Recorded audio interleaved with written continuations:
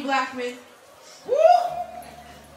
I'm an MC and a poet, a hip hop artist who does things. And I believe that hip hop can be used to change our world and make it a better place. And so that's what my life has been dedicated to, and I've surrounded myself by artists, not just women MCs, but we got other MCs up here in this building, and now we're outside the building who believe the same. So the contrary to what we see on TV and hear on the radio, there's a lot more that hip hop has to offer. I've been to 45 different countries around the world. And there are people like me everywhere I go. And one of our biggest inspirations as artists is Aretha, because Aretha did what the hell she wanted to. And if you said something about Aretha, she says, so what? So what? So that's what we're going to say today. We're going to start us off like this. So what? So what? Who's to start? So what? So what? So what? Come on. So what? Uh. So what? Uh, you got another illusion. So what? This is freestyle, y'all. So what? Come on. Look, look, I came to bless the mic one time for y'all. Look how I really come and rock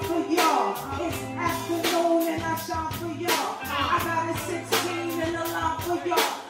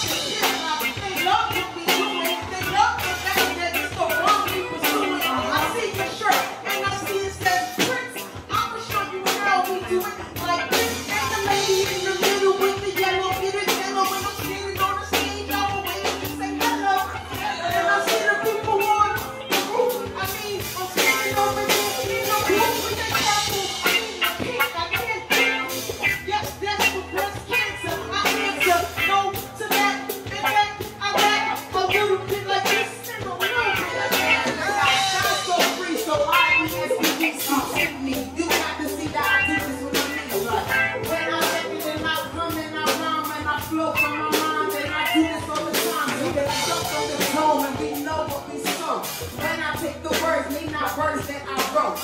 These be the words that I said in my mind and I do it from the sky cause I do it when I fly like I fly. Fly so high that sky.